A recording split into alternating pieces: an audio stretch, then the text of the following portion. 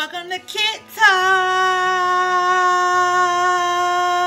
How you guys doing today? I am doing great. Before I get started with the video, I want to ask you guys please like, comment, subscribe to our channel.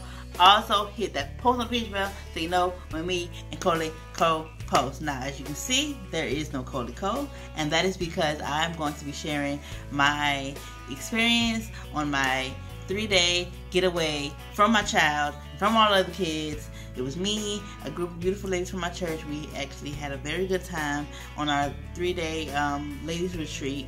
We go every year. Um, this year we went twice. went in March and we went again in um, November. But normally we go every year in November.